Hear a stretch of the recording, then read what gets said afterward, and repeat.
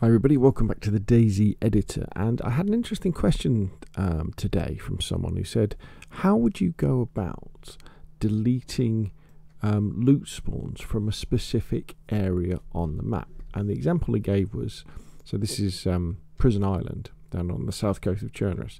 How would you do it so that no loot spawns, for example, say in these buildings here? And I scratched my head and thought, I haven't done a video about that. So that's what I'm going to be showing you in this video. Now, there's something we need to understand about how the how the loot works in DayZ in order to, to make this happen. Um, and that is each of the buildings that are the same in DayZ, like these military barracks, they spawn in similar loot. And the loot that spawns in there is controlled by a particular file. So if we go over to, um, I'm going to show you this on my local server. So here we go. So this is the same as on your remote server. It just looks a little bit different. So we're in the um, the root directory of the server here. Obviously, if you're on console, you won't have all these ats, um, but you will have your missions files, MP missions.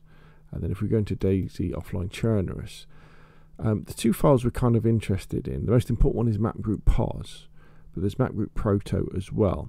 So if we open them up, Map group proto, what that does is that for every type of object or building or structure that spawns loot, it tells the game what should spawn there. Well, sorry, what type of loot should spawn there and where it should spawn. So let, us scroll down and find a building. Um, here we go. Here we go. So, for example, here, so at buildings that are called land factory small, um, loot should spawn that there that is industrial and is classed as tools, containers, or clothes, and it should spawn these locations. And the related file is map group pos. So what map group pos does, this lists all of the structures that should spawn loot in DayZ and the type of structure it is, and the orientation of that structure. So, for example, if we just take the top line here, so this is saying, look, it's saying to the game, look, there's a land misc feed shack at these this location and at this orientation.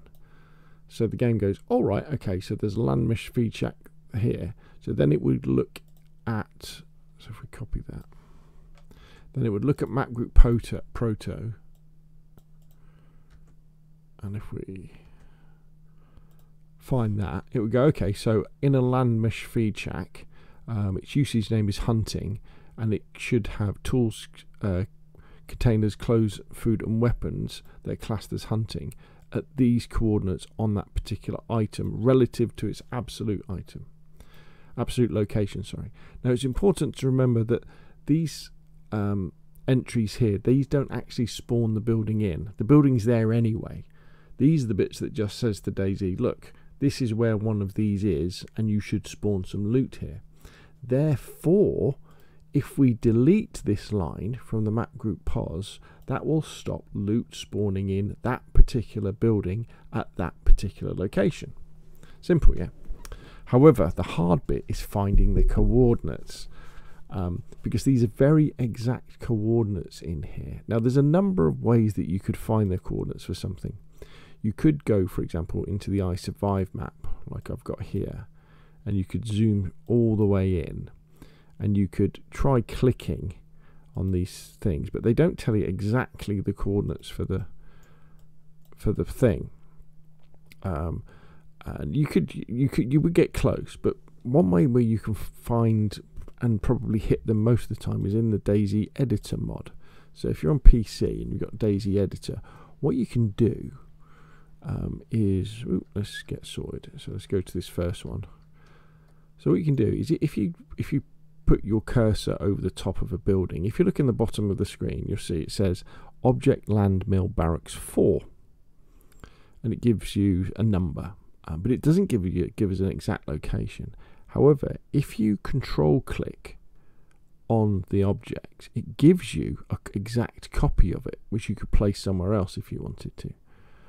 Um, but what you can then do is if you just click sort of close to it, that is now spawned in and you can see in the top right corner we've got Landmill Barracks 4 and now what you can do is if you use for example alt to move it down, and then you can zoom in. And then very carefully, with your finger on Alt, use the arrow keys to move the building round so it exactly matches, well, as best as you can, the one that's already here. Like so. What you've then got here is um, if you double click on the uh, uh, name, we've got the we've got some coordinates. Now it's important to remember that although we may think we've got the exact coordinates, we probably they're probably not completely exact. But if we take the x coordinate at 2561, we know that this is a land mill barracks 4. So if we just search for 2561 and find a land mill barracks 4, then we'll be good to go. So all we need to remember is 2561. So we go over to our map group pos uh, and find 2561. Find all in current document. There we go. And what we were looking for is land mill barracks 4. So if we look down here, we can see there is land mill barracks 4. Now let's see what it was. It was 2561 by 306. Let's go back into the editor and see how close we are. 2561 by 3. Okay, so we had 3, 8. But, so we had the 3. So you maybe could have searched for 2561 by 3. Um, and then what you would do is you would go to that line. And if we just did that and just press delete, that's it. No, nothing is going to spawn at that particular structure anymore. The structure will still be there um, on the map, but no loot will spawn. So let, us let's, let's do it for another one. So let's say this one. So we uh, control left click. That gives us the thing. And then we could left click again. And then we can press Alt to bring it down. Let's zoom in. If you come up with a better way of lining things up, please let me know. And then with our finger on Alt, we can use the arrow keys.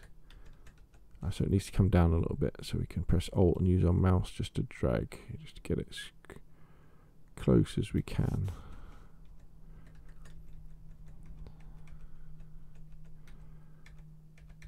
Okay, so that's pretty close, isn't it? So if we click on the little square, we can see it's this one. So this one is at 2574.1. So if we come out of here and we do a control F, 2574, find all in current document, and we know we're looking for a land mill barracks 4 because that's what that is, land mill barracks 4. So here we have group name land mill barracks 4 at 2574.13. Where was our one? 2574.1. So if we put in 0.1, we would have found it. If you put in too many of the coordinates, you won't find it. It won't be exact. So all we need to do now is we just click here. That is that line there. And to get rid of those things, just delete that line. And again the structure will be there because the game spawns all the structures. We can't delete structures um, on console from the map. We can do using DayZ editor mod using the DayZ editor loader but that, that's a different video. Um, but it will mean now that's that um, barracks there and that barracks there will not have any loot spawn in them at all. It's a little bit finicky but it works very well um, and it allows you to find the coordinates of things. So there we go. And then what you would do, obviously, you would save the map group pos. You would upload that to your um, your server, or you put on your local server. Just restart the server. Now remember, any loot that is already there will take some time to despawn naturally, depending on its lifetime. You know, stuff just doesn't disappear straight away. Um, but it shouldn't take too long, especially if you've got people on the server, so it's constantly on um, and isn't going to sleep all the time. Okay, so there we go. So hopefully you found that useful. Um, if you have, hit like. I thought it was quite unusual because often we're trying to put more loot into the map in different places, and this is a this is a video where where we're taking the loot out. But if you found it useful, hit like. If you want the same, press subscribe, um, and of course I will see you again soon.